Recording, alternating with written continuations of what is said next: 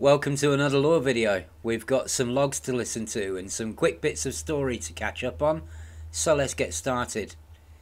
Zachary Rackham is under fire again from Brianna Blanco, the reporter determined to uncover his shady past and get evidence to prove he's a criminal, so then he can't run for president. Now you might wonder why being a criminal would stop him from running the Federation. You could argue, if anything, he's overqualified, but as we know, it's not about being a criminal, it's about being caught in public.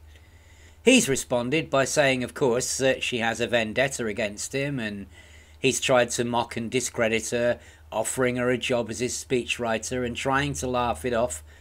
But for me, it's all sounding a little bit hollow. Rackham doesn't need criminality to show he's unfit for office. The daft ideas he's come out with so far show him to be a political nincompoop all by themselves. Only criminals should pay taxes. Muppet. The final showdown between them seems to be on now, though, with Blanco hiring the highly respected detective agency Wallglass to get evidence. If they can't find any, she says, then he can go for stealing the whole Federation. Now, I don't think this is a vendetta that she's got. I think she's genuinely worried about how corrupt, okay, how much more corrupt the feds would be with him in charge and genuinely fears the consequences. So I guess we'll see if Wallglass get any dirt on him. I do wonder if this is a topical reference to populist leaders who say all the things they think people want to hear, but when it comes down to doing the job, they're hopeless and couldn't run a bath. A community goal just ran to bring precious metals to the Empire, which was quite literally a gold rush, and a chance to make a lot of money. So those metals, they're going to be for something really useful though, right? Something really important, yeah? No. They're going to be used to make statues of the Duval family, past and present, to be put in public places, for people to be inspired by and pigeons to crap on. Or is that pigeons to be inspired by and people to crap on? Guess we'll wait and see. But it reminds me of Asimov's Foundation and Earth, when the travellers land on an unknown planet and one of them stays on board the ship while the other one searches through the ruins of an ancient city. And the one on the ship says, You should look for monumental buildings. And the man on the ground says, Well, what do you mean by monumental buildings? And the guy on the ship says, Well, fashions change from time to time, but they always look large, useless, and expensive. Large, useless, and expensive is a pretty good description of the Empire. As with the Feds, I wonder if this is using the Empire to have a dig at certain characters who get far too much attention and should never be let near any kind of power. I'm not going to start drawing parallels to real world politics all the time, don't worry. This will never be that kind of video series, but there are certain politicians here in the UK who say things like, hey, the economy's in the toilet, lots of people are unemployed, bills are going through the roof, inflation is spiralling out of control. So here's an idea. Why don't we raise public morale by spending even more taxpayers' money on another yacht for the king? So FDev are British, of course, and I wonder if this is a sly dig at the out-of-touch idiots who come out with clueless drivel like this. And if it is, nice one. So, with the feds wondering if they should write in their charter, you can be a criminal as long as it's organised crime, and the Empire navel gazing and celebrating their own importance, or is that impotence, with overpriced directions, what's happening everywhere else? The new Guardian site we looked at last time has now been abandoned by the Thargoids. After building up a presence there, they're gone. Speculation here from the in-game boffins is mostly surprised they didn't stick around and attack us, calling it unusual behaviour for them. But is it? You might remember last year that the Thargoids were advancing into various systems in the bubble and retreating before it came to a fight, and people at the time, including Denton Patreus and Galnet and others, were wondering if they were evaluating us somehow, if they were gauging our strength in some way, doing some kind of recon operation. So that's at least one precedent for this kind of behaviour, even if it is uncharacteristic for Thargoids as a whole. So maybe this was like that. But it's a bit out of the way to draw our attention to a reconnaissance exercise. Perhaps what players have speculated about is true and they had some lead on Salvation, or something to do with the Guardians and they built up all their forces in the area until they knew what they were dealing with as a entirely sensible precaution. And then, when the build-up of Thargoids in the middle of nowhere attracted our attention, perhaps they decided to back off before we could work out what they were up to. Or perhaps they got what they came for. I don't believe it's just a little gap filler, an incidental story that's now ended. I think there's more to come from this. After the Thursday morning maintenance, everybody got three logs in their inboxes. I know there are people who don't play much, or haven't for a while, and they watch these videos to catch up on things. So here are those logs, for anyone who hasn't heard them yet, and then we'll look at some of the takeaways from them.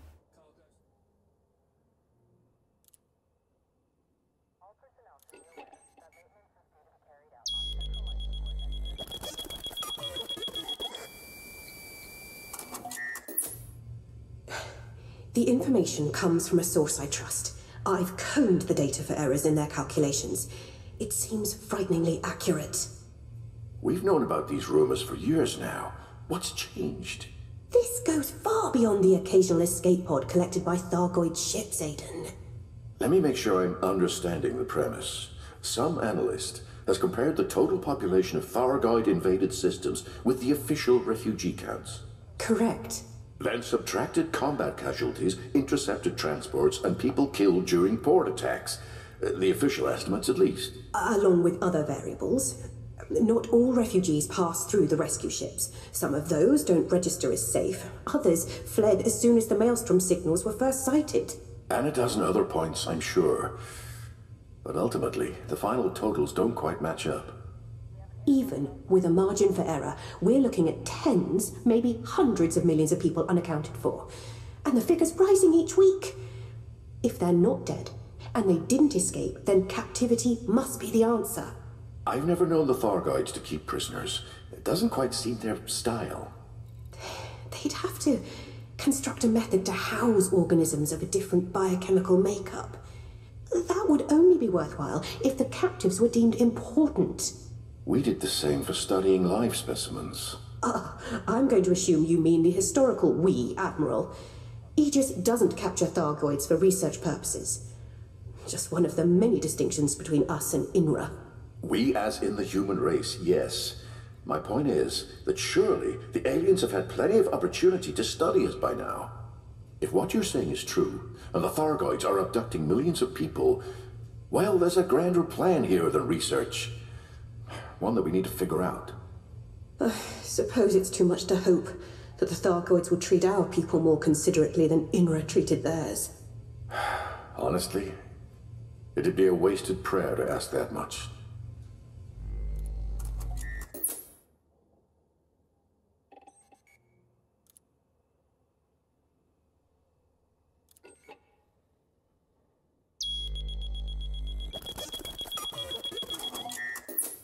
Oh, we'll have to manage how this information is shared. Of course, it will need to reassure people that we're doing everything we can to locate the missing. Just to play devil's advocate for a second, are mass abductions something we need to go public with? Yes, I think so. With numbers this high, it would be cowardly to pretend we don't know what's going on. Hmm. I'm not sure all of Aegis's finances would agree. We've been given the authority to make firm decisions for ourselves. Besides, I'd rather be in trouble for telling the truth than lying. I couldn't agree more. I'll back you up if needed, but I suggest being economical with that truth. Eh, think about it. Aegis announces millions are being captured alive for unknown reasons. It, it'll scare the crap out of the trillions listening. Unknown reasons. We have to find out why the Thargoids are taking so many people. I'm not looking forward to the answers. Your rivals are going to spin any press statement, too. Torben Rademacher will be on every newsfeed, telling people that Azimuth would never have allowed this to happen, without going into details, obviously. Screw Torben. He can play politics all he likes. Scoring points in the face of a major humanitarian tragedy is just his style. But then, he did learn from the best. Oh, this is horrible. They're harvesting us. So? For goodness sake! This is a private conversation. Why are you on comms? Sounds like it isn't just the Thargoid she listens to. Shut down your comms link until I can find someone to secure it. I said they're harvesting us as a resource. You wanted to know why the Thargoids are abducting people. I think I can help figure out the answer. If we're going to talk, you may as well come to my office. We'll discuss this in person. No. I want to be alone. There's a lot of noise today. Okay. What type of resource are we to them? Food? Fuel? We have no evidence the Thargoids view us as edible, any more than we do them.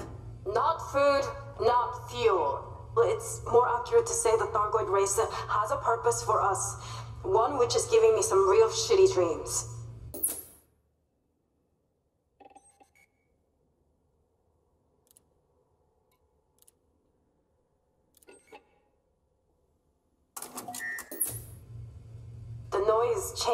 Few weeks ago. But it wasn't until you mentioned millions of people vanishing that the new melody made sense. What do you mean by melody? Seo's connection to the Thargoid telepathic network doesn't include an understanding of their language. Aegis is working with her to establish a method of interpreting what she sees and hears. Describing parts of the Thargoid noise like music helps. I can pinpoint certain notes and melodies, even different instruments. Sometimes images appear. The sound is still awful and triggers emotions which are harder to process. But focusing reduces the chaos of it all. And you say this noise is different to when the invasion started? Yes. The original buzz grew louder as the Maelstrom signals approached the bubble. It announced the invasion, drawing their fleets. When the Maelstroms arrived, I understood that the Thargoids would claim as many star systems and destroy as many ports as possible. Territory was the only goal. Now there is a different melody underneath it. An image keeps repeating what looks like tunnels and caves. Rows and rows of what I thought were eggs. Seo mentioned these eggs to me before, and it's logical to assume that the Thargoids have a method of replenishing their war casualties. But there was never any sense of compassion or protection. Maybe Thargoids are just bad parents. But now I think it's because the eggs aren't eggs. They're pods. Containers for humans. If I focus on that concept, the noise is less abrasive. That's usually a sign that I'm understanding something in the alien broadcaster. Phew. This is a lot to take in. Do you think these pods are on the Titans? Yes. sir. And the people inside are important to the next phase of Thargoid invasion. I'm sure of it. Okay. I don't understand how that brain of yours works, kid, but the information you've given us up to now has been solid. Alba, you said earlier that Aegis is autonomous now, correct? Wi- within reason. Why? Because I'm not interested in waiting months for approval from the superpowers. Let's go with Seo's music. Can you have your people develop a way to recover pods from a Titan if we can figure out where they're being stored? I'll see what I can do. Uh, But even if we design something suitable, it isn't going to be an easy mission. A ship would have to fly dangerously close to a Titan. Our pilots have done incredible things so far. I learned long ago never to underestimate them. With the right tools, they'll figure out a way to get any job done. And if Seo's right, and these things contain human captives, well, we've got a lot of work to do.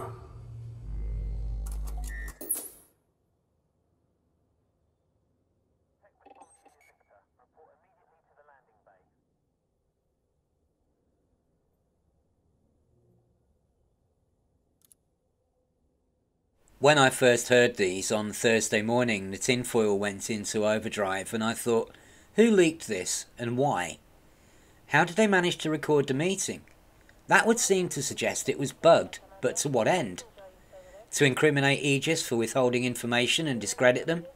That seems unlikely to work since they freely admit themselves they don't have all the answers. It would be just like Azimuth to do it, of course, and then claim that not only are Aegis withholding information, but working with a crackpot who hears noises in her head, conveniently forgetting that's because of them. However, in the end, there was no conspiracy, there was no espionage, there was nothing like that going on. The very next day, Friday, this Galnet article revealed that it was Seo Jin-ae herself who released the logs to everyone, saying that the accusations of withholding information are false. Far from discrediting Aegis or making him out to be bad in some way, it's actually backed them up. And this has been accepted even by the media, with Vox Galactica saying it's rare for this kind of information to support rather than condemn any organisation. I quite like this because many of us have felt that Shojin will be making some of the calls that will lead us to win the war. But we mostly thought in terms of big dramatic revelations about the Thargoids as opposed to this, which is more like pointing Aegis in the right direction, but then they still have to work out how to do the job. But it's good, because things like this are the catalysts for future narratives, you know. Community goals as Aegis work out how to break into the Titan. It seems likely where all those materials you get from the Titan now that you can't do anything with except sell them that's where they may come in, and various other ways that we, as independent pilots, can get involved. Then again, it might set off another race between Aegis and Azimuth, and let's remember that Azimuth have teamed up with Holloway Bioscience, who had a couple of mentions in Galnet already, and they usually do that because they're going to play some part in it at some point.